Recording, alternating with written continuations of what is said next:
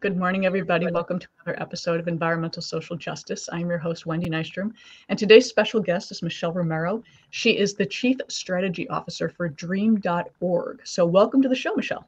Thanks for having me. I'm so excited to be here. Thank you for coming. I know you're crazy busy. Dream.org is a wonderful organization. I was wondering if you could tell people what it is and when it started. Yeah, Dream.org is a national nonprofit organization. And essentially, we dream of a world that's beyond poverty, prisons, pollution, and polarization. Um, we got started actually many, many years ago. So in 2007, uh, when Van Jones founded the Green for All initiative. And the Green for All initiative was looking to really build an inclusive green economy.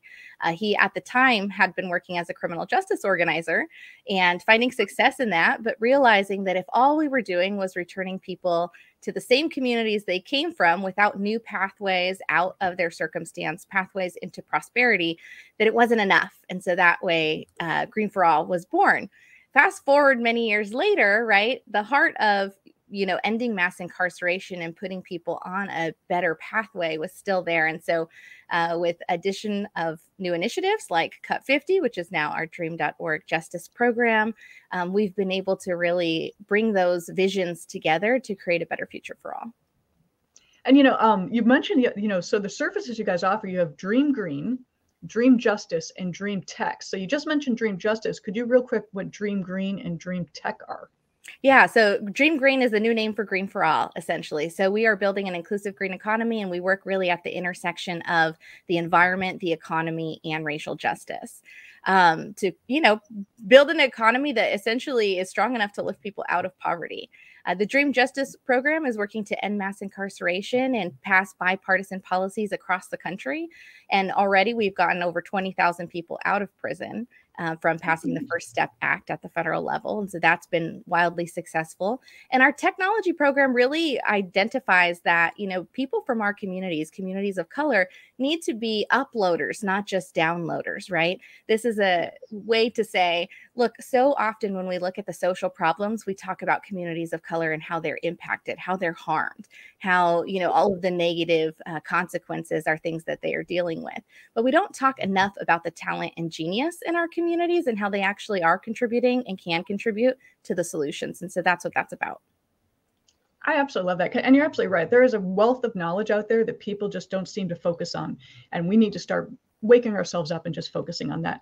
Um, but our main topic, I really want to talk to you about um, climate issues from a mother's perspective. Could you, because mothers are often overlooked and children are often overlooked. So could you tell talk about that real quick?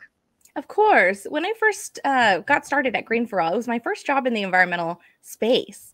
And to be mm-hmm. honest, I wasn't sure how long I would be, you know, passionate about working in these issues. From the outside looking in as a Latina, um, you know, I thought that the environmental space was really for white hippie tree huggers. Um, I, I followed a leader.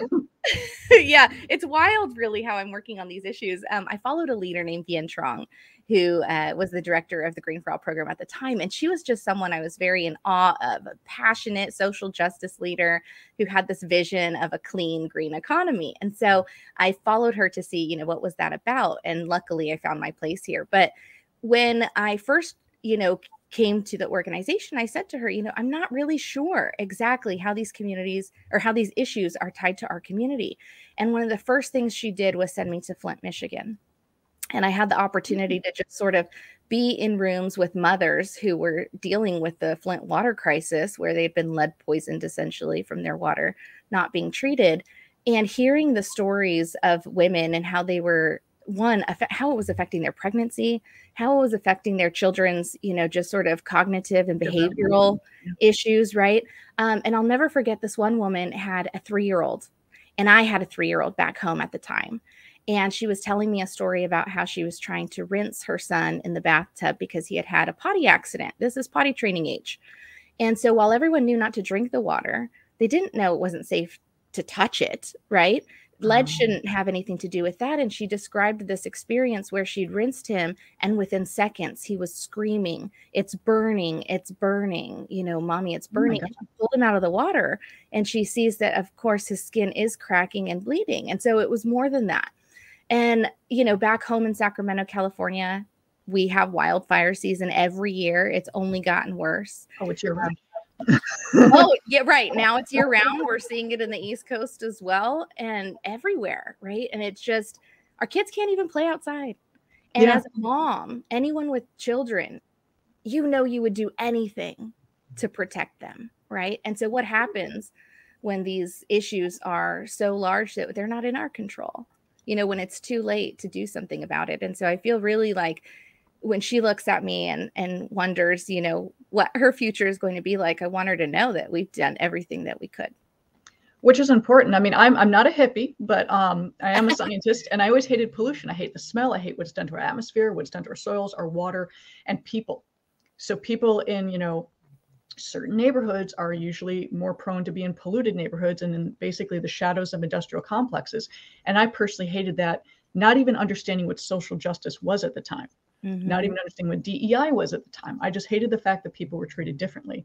And the Flint issue, I correct me if I'm wrong, but I think the Flint water is still contaminated. They still have not fixed it, which um, is extraordinarily wrong, and that should have been addressed by now. And um, I actually did not know that a toddler's skin was was um, scaling up and bleeding from touching yeah. the water. That was news to me right now, which. Is further um, infuriating me that this has not been addressed yet. So um, we do need to fix these things. We do need that's a social justice issue in case people want to know. It's an environmental justice issue as well. Um, and the future we do leave children. I am hearing from a lot of 20 year olds who have said to me, why bother? We're just going to die. Mm, mm. And that is extremely upsetting. I mean, I'm not a mom, but um, I do mentor quite a few graduates. And when I hear them that depressed, we need to do better. And what your organization is doing is exactly that you are doing better. You are helping people. You are leading the charge. Um, but you know, speaking of leading that charge, you know, everyone follows the money. I hate to say it, but money is what kind of everyone is going to lead the way. So you're working with venture capitals and sustainable businesses. Um, could you explain how that's part of your organization as well?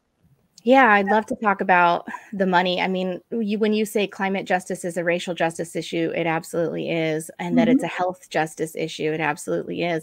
But it is also an economic justice issue. You know, for those families in Flint, Michigan, nobody can sell their houses, even if you wanted to pick up and move, right? The property values are just so much lower now. And um, you know, when when I think about where the money is going, there are two there are two places essentially where money can shape the future one in the public space, and this is this large opportunity for $369 uh, dollars in climate investment that the federal government has authorized, right, to be spent uh, in the places and through, with the people who need it the most and the other is in the private sector. So, corporate entities, venture capitalists, folks who are investing in the next technologies and solutions need to be looking everywhere, not just in their friends and family circle, right? They need to actually be looking for, um, you know, the solutions that we need. And so, I have to tell you this story. Um, we I've been working with these incredible uh, African American CEOs of all of these different green technology companies, and one oh, of them. Yeah one of them is working on uh, solar panels, and they have a solar technology that is very efficient. So he actually, back in high school, I'll tell you how he got this story and why. And this is, I feel like, illuminates why we need everyone at the table, why lived experience matters. He was in high school taking his yearbook photo, and his yearbook photo came back to him. And as an African American man, right, he got this photo that was very dark, didn't show his features, uh, and was a terrible picture.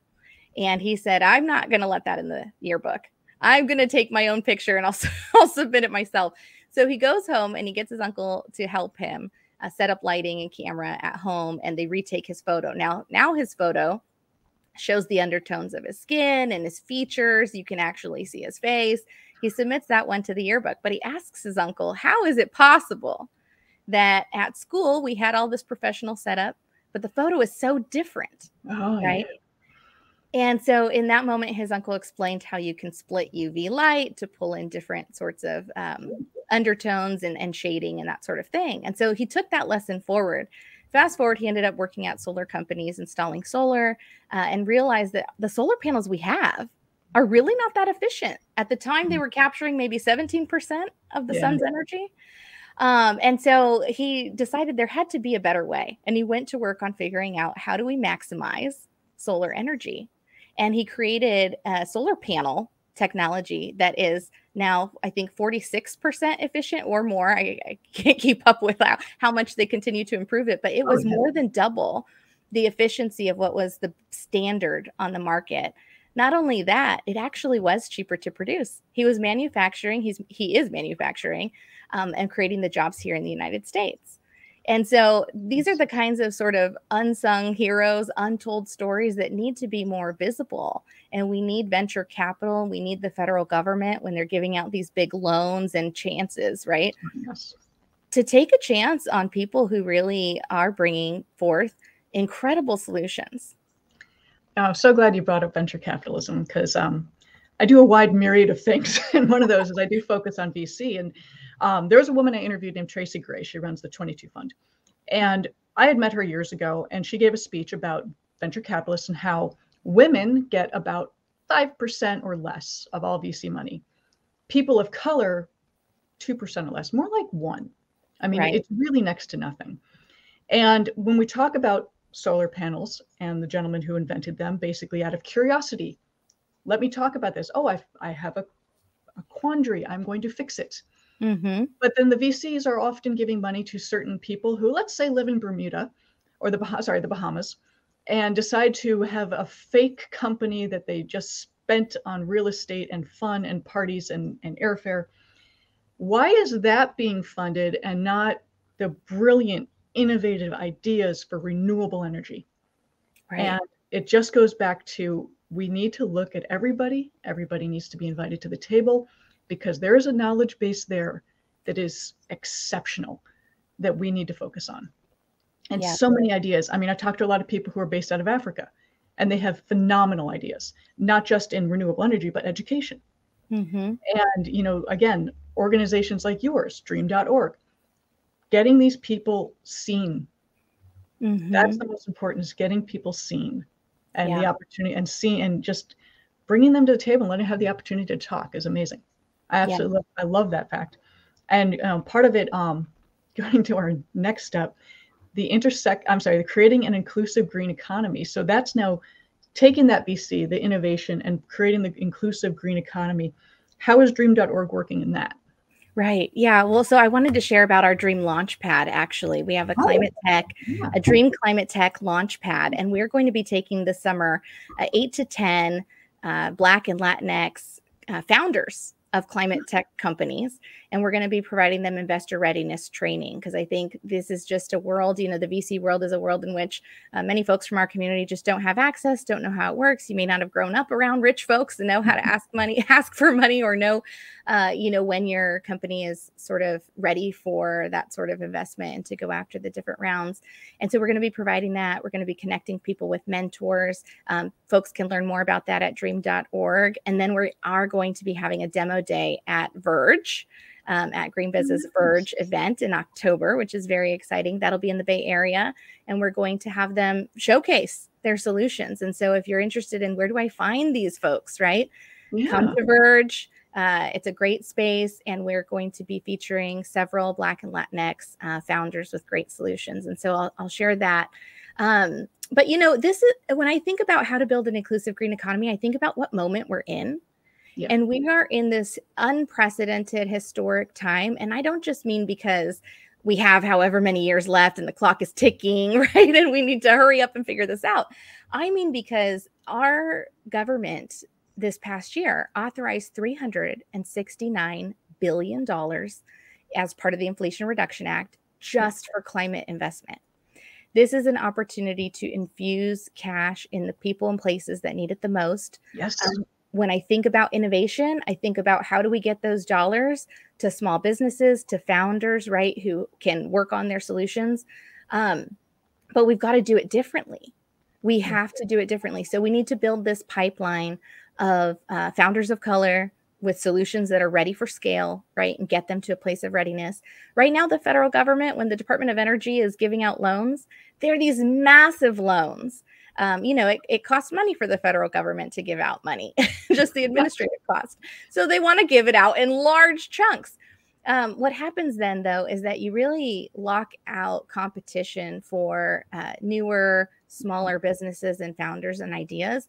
So we need a program that can solve that. We need some more help really at that mm-hmm. early stage for folks so that we it's not just the monopolies, right? It's not just oh, the, absolutely the yeah. same large companies. Um no. The other opportunity, of course, is how do we get this money to communities? Yeah. To transform communities. So, so many of our climate solutions, whether that's solar, whether it's energy efficiency in homes, whether it's providing electric vehicle infrastructure in neighborhoods that you would normally see it, um, these are solutions that can reduce the cost of living and improve quality of life.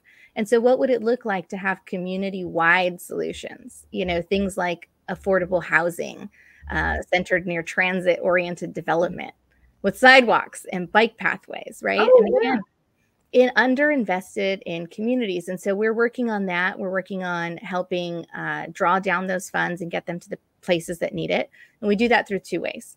Um, one, working with the regulators, so with government themselves, right, to help design the criteria for who is competitive for these funds, uh, make sure they're considering different equity based criteria. And then, uh, second, with communities and helping them to develop a pipeline of shovel worthy and shovel ready projects uh, so that they can be ready to compete as well. I, and I love the idea. I had a friend probably five or six years ago um, who was trying to build a village and it was going to be multi-generational so when people have to go to work the um, retirees could watch the children it keeps them young it gets the children to interact with other generations everything was going to be renewable energy off the grid well not completely off the grid but mostly renewable energy bike paths and parks and mm-hmm. recreation mm-hmm. and you know proper grocery stores with healthy food. And there was just no funding. Um, she she made a, a strong swing at it. She's a brilliant woman. And this was before the the act was passed. And you know hopefully something like that can get restarted because we do need affordable housing especially in california. It's gotten a little bit ridiculous. Right. And we need you know when you say shovel ready we need to make sure that land's not contaminated because um, most of our soil is and usually in places that we're going to build affordable housing is going to be cheaper land which unfortunately means brownfield mm. and we need to make sure that land is clean so people can you know live there, work there, play there, and not worry. So, um, very important to do. And um, when you talked about the funding, you were absolutely right. When that act was passed, many of the very large engineering firms got their entire funding departments online because they wanted those billions of dollars. And these are companies that are already worth hundreds of millions or a billion dollars. Right. We need to really have a program established where smaller businesses and startups get that much needed funding because I think that'll be revolutionary. So many of these companies do the same thing the same way time over time again. We need some some thought there. We need we need new ideas to be cultivated and hashed out and and formed so we can have the change that we need. As you said, we're we're getting close. We we need it done. We really do. And it's look, it's uh it benefits the US if it can figure it out. We like to yeah. think of ourselves in this country as the most innovative, you know, geniuses in the world. Like that we have that that sort of mentality. And it's if we don't actually have opportunities and pathways if we don't make the resources we have available available to everyone then we're we're fighting this climate change issue with one hand behind our back. You know we yeah. need to really unleash the full suite of american ingenuity on the problem. Um, the other thing i would say you know in the vc space it's really interesting because you have basically a growing um, sector of uh, diverse funds funds that are looking at diverse owned uh, founders essentially so you've got black vc funds and things like that that are really focused on the founders but they're not always focused on climate issues so they're sort of agnostic to the to the um, industries, if you will, and focus more on founders. And then you've got all the climate tech founders focused on climate tech as an industry and not at all focused on the founders. So we can just get those two working together. We get them talking, right? Then we might actually be able to uh, solve not just climate change, but the economic justice issue because these are the folks when you think about, you know, when I grew up in the 90s and 2000s, right? Uh, this is the dot com boom. Everyone made their money off computers. And when we think ahead 30, 40, 50 years from now, everyone's going to say they made their money in climate tech solutions. They made their money in the green economy. And Hopefully. so this yeah, so it really mm-hmm. is we can't overlook the environmental or I mean the economic piece of this. Oh, absolutely. And there's so many ideas out there. I mean, Um, there are tons of inventors that are coming up with really cool ideas. They just need the platform to be heard. They need right. to be able to um, pitch their ideas and have someone look deep into their technology. Be like, you know, it's not a bad idea. Let's see if we can scale this one up because everything's a crazy idea until you until it works. Mm-hmm. And then next thing you know, you have the great inventor inventor of you know 21st century. so I, I love what you guys are doing. Um, before I let you go though, could you tell people one, where are you where they can find you? Yep. Where maybe inventors could find the VC person or someone to get in touch with if they want to pitch an idea. And if you guys are doing events or if you want volunteers or how people can get involved. Yeah, well, look, you can follow us. Um, well, I'm on Instagram at Michelle Dreams 2. Uh, and the Dream Corps is also on Instagram. But our website is dream.org. And I would say connect with us. You can find my email on the website, uh, Michelle at dream.org. Uh, and I'm happy to connect you with some of these incredible innovators. but we also have this amazing community newsletter. So, for communities who are trying to figure out how to draw down some of these funds, we produce a monthly newsletter. And if they text DREAM, text the word DREAM to 97483, uh, we can get you signed up for that so that you get all the information and resources about what's available and how to tap into those dollars. I absolutely love that. You make it so simple.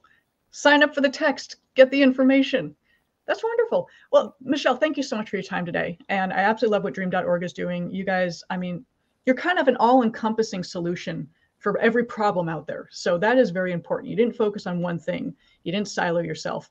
You're kind of attacking everything at once and trying to make the world a better place. So that takes effort. So thank you for all that. Connected. yeah, thank you, Wendy. It is all connected. Everything's a chain reaction. I keep telling people that. so thank you again, Michelle. I'm Wendy Nystrom, your host with Environmental Social Justice, with special guest Michelle Romero with Dream.org. You guys take care. Thank you.